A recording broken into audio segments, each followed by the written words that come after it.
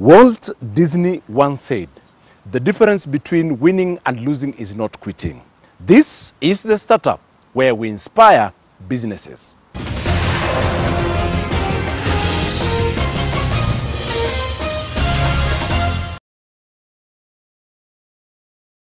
Welcome back. On the startup tonight, we have a very interesting story. We meet Sunday Juma.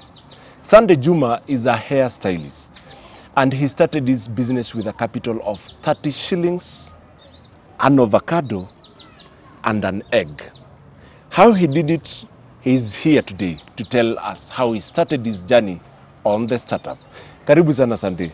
Poa sana. Biashara ulianza na shilingi 30 Kweli na avocado na mayai. Ulifanyaje? ilikuwa tu idea yangu, nilikaa chini tukiwa, nilikuwa na sis wangu, so ile katika rakati ile ya kukatini tukiongea nini nini, akaniambia kuna vile tunaweza anza kabizi, lakini ndakuonyesha vile tutaifa Tutaifanya. eh, so alienda akabaya avocado na mayai akakaa nazo. Avocado na yai, na yai akakuja nazo. So hiyo time nilikuwa nimefuga nywele, akaniambia hii bi- hii biz ndio tuianze, itabidi nikuweke dredi, ndio. Watu watu wakipita wakiona hiyo vile nafanya mm. itakuwa target ka idea fulani, pia watakuwa na kam tuna tunawamake sasa hivyo. So nika- ikakuwa ni sawa, mi ndio nilikuwa Sasa wacha nikuulize Sunday, dada yako ndiye ilikuonyesha jinsi ya kuunda dread na avocado na mayai. eh, hiyo ndio ilikuwa idea yake, lakini sasa hiyo time tuki, tuki, tukinini na yeye tuki, akini make alikuwa nani make na mi na make. Unaona, sasa nikaa tulikuwa tunamekiana. Sasa watu wakipita walikuwa wanakuwa, wanakuwa interested. Wanakuwa interested na mayai na avocado ama ama walikuwa interested na the way bread ina na the way dredi zilikuwa zinatoka. Mm juu si watu wengi wa- walikuwa na get hiyo idea. Okay, kitu ingine tulikuwa tunatumia tulikuwa tunatumia omo.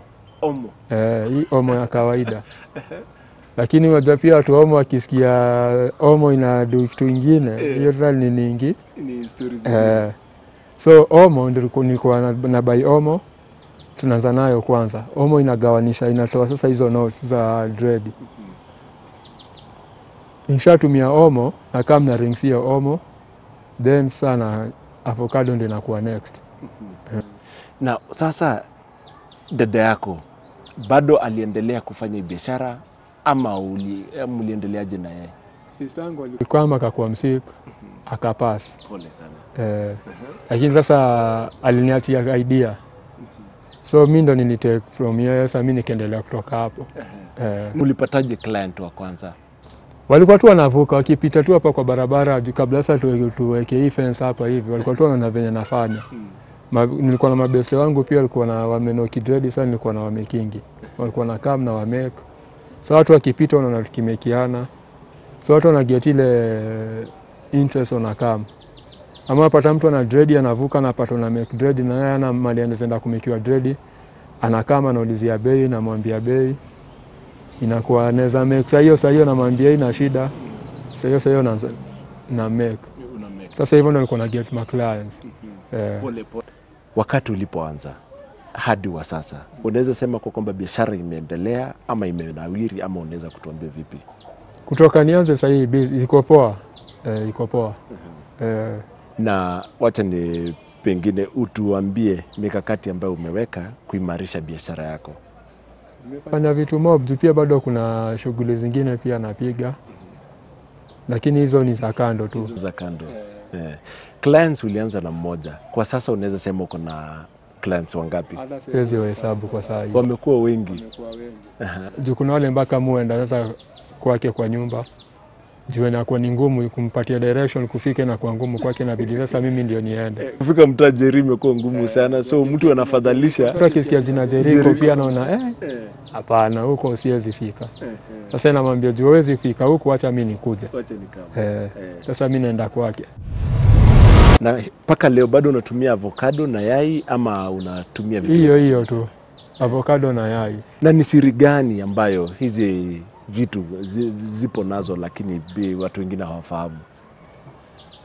Kitu ingine ni avocado na mayai ni treatment kwa nywele. Ni treatment. Eh, unaweza treat nayo nywele, unaweza treat nayo face yako. Ni ile watu hawajuangi. Eh, Hizi vitu ulijifunza uh, benefits say ya avocado na, na mayai kwa uso ama ulijuaje hizi vitu?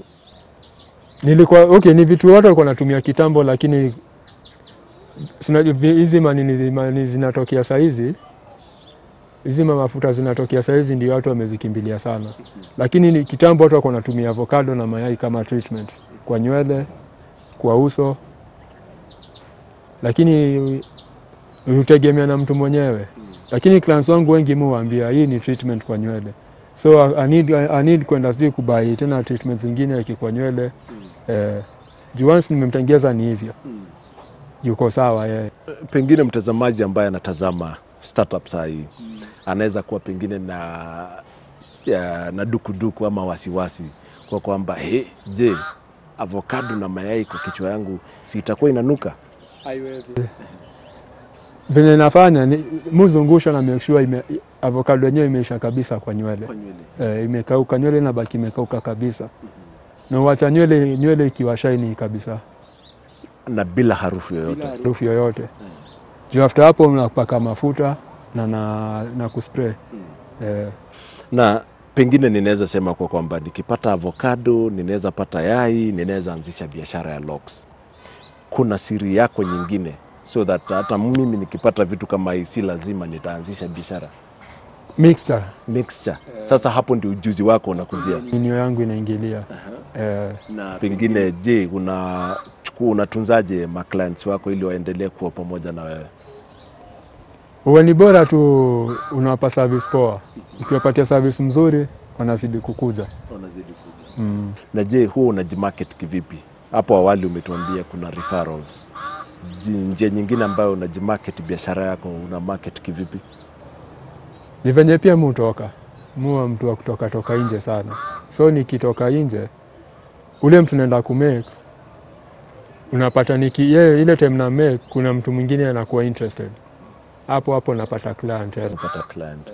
Uh, na charges zako uh, per head una charge mtu pesa ngapi, ama inategemea na service ambayo unafanya? Tegemea na service ile nampatia mm -hmm. eh, kama kaa kuosha kuosha na kutengeza na kustyle mu charge tao na charge tao -huh. lakini kama ni kuosha na kumake peke yake mu charge punch eh, so tano. So tano. Eh. So tuseme wewe huwa biashara yako inaendelea kunawiri kabisa. pole tu. Eh, Changamoto ipi ambayo unakumbana nayo katika biashara hii, ama challenge gani unakumbana nayo? ha- hakuna challenge. Ni ile tu kujipa moral eh, na reason nao bei pia. Eh, So sio lazima iwe ni 1000 si lazima iwe 1000 tegemea na vile mtu anajiendelea kujipitch kwako na vile vile tutasikizana na yeye. Eh, Kuna competition katika biashara hii. iko sahii kwanza imekuwa juu. Watu sahii wale wanatengeza dread ni wengi. Eh, kuna pia wale washagetia idea pia wanatumia wameanza kuitumia eh, Wewe unajiwekaje mbali na wao ku, ku, ku, kudumisha pamoja tuko pamoja juu ni kitu moja. Sasa pia lazima tukae tushare pia my ideas, kwa sababu lazima pia tuna change, una change pia design yako ya kumake nywele. na hii competition unaweza sema ni healthy kwako kwa biashara yako ama sio healthy? Nasikia poa juu sana, najua tuko wengi, pia nanipatia challenge. Lazima pia sasa pia mi nijiweke niji, ni change style yangu ya, ku, ya kufanya biashara yangu mm. Na kama mwanabiashara umejifunza nini katika biashara hii tangu uanze hadi wa sasa? Mimi nimejifunza vitu mingi juu at least pia nimepata watu wale pia nimeinspire pia kidogo, nimewafundisha fundisha job pia kiasi, pia wanapigapiga wanapiga piga tu shughuli tu au kidogo huko nje nje, pia wanaweza wanajilea na hii tu biashara bado mm. Youth ambaye anatazama TV anatazama pengine saa hii startup mm. pale nyumbani, unaweza kumpa shauri kivipi? kuna job ni ile tu, vijana wengi wamejiweka ni walezi, lakini job ziko, ni mtu mwenyewe tu ajitolee. Kama saa hii mtu ataka nimwonyeshe kujenga dread, ndamwonyesha, ndamfundisha na ajue, na nimwonyeshe venye atakuwa na na get clients ama tunaanza na yeye tu naanza na yeye tu hapa polepole, na nampatia clients wengine wale atakuja atanini nao ata move on nao sasa. Kutoka hapo sasa atakuwa anajeza yeye mwenyewe atakuwa anajiendelesha kivyake sasa kutoka hapo. Na in the next two years, baada ya miaka miwili hivi, unaona biashara yako ikiwa wapi? Ndakuwa mbali juu uh, already nisha nini clients wangu wale ukuja hapa nawambia na move tao na wamefurahi sana. Jemoneo ni, ni step ingine nimeteka naingia naingia sasa tao juu tao moja ni katikati. Sasa wengi wale wako mbali watakuwa wanafika mali niko, haitakuwa ngumu kwao kunifikia. Perception ya society kuhusiana na dredi, unaweza sema nini kuhusiana nayo? wanafurahia jana, at least niko nimetoa pia watu wengine kwa mawe, so wao wanaona shughuli ni poa e, wanafurahia. Perception ya kuassociate pengine dreadlocks na mambo ya ya crime crime kwa siku hizi, how experience hiyo katika biashara yako eh. Eh, Watu wamejua ni style watu wamejua ni hairstyle na watu wengi, wa, wa- watu wengi wale mupatana nao wao niambia pia at least nimefanya dread imekuwa mali eh, ile jina ambayo ilikuwa nayo siku hizi haina. clients yako kwa sasa ni akina nani? Wanawake, wamama, vijana, hata kuna mabuda eh, wao wanafanya kazi katika different sectors ama ni kina nani haswa wao? wana, kuna wale wameandikwa kazi na wako tu nazo, wanafanya nazo kazi, na hiyo ndio kitu nilikuwa naomba sana, watu wakubalishwe nazo ufanya job eh, ndio biashara at least ikue. and it's a, it's a style. Ni hair style tu eh, bora ziweke ziwe safi, na hiyo ndio kazi yangu sasa. Hapo ndio sasa mimi naingilia, mimi ndo naziangalia ziwe hiyo ziwe safi eh, Okay, Sunday, biashara yako ya dredi unaweza shauri watu kivipi, general society? Naweza waambia kuna job eh, ni mtu tu ajitolee. Ukijitolea utakuwa mahali mm.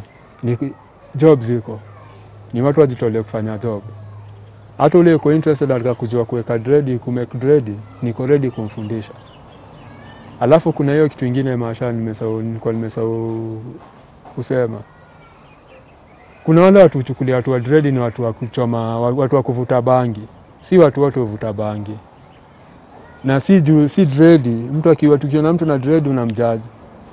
Dredi ni hairstyle kama hairstyle zingine, venye unaweza enda kwa kinyozi unyolewe nywele, ni the same same na dredi.